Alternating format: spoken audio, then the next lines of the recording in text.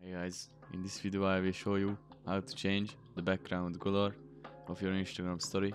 So let's get started. There's a couple ways to do it, but at first let me jump to my Instagram story. So let's open Instagram, go to our profile, hit the plus icon on our profile picture. And there's the problem.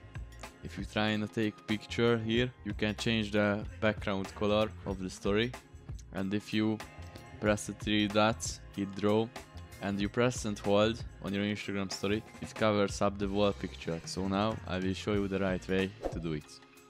So let's discard this and go back to our story menu. So let's say you took a picture and you want to post it to your story. So let's open our gallery and choose the picture which you want to post. For example, we're gonna do this one. And now let's hit the three dots, hit draw, press and hold to your screen, hit done. And now we are at the important part. Hit the sticker icon and now we're gonna add your picture on top of this. It's in the first row for me, in the right side of the mansion. It looks it looks like a gallery icon, but I want to mention this tutorial is recorded on, on an iPhone. So if you have an Android, it should look like a plus icon.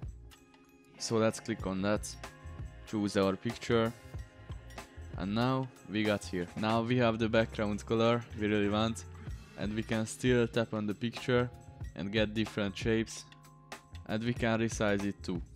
So I recommend you doing it this way.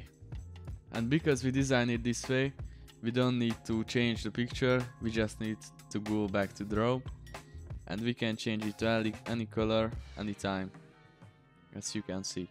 By the way, there are many colors right there, if you swipe right.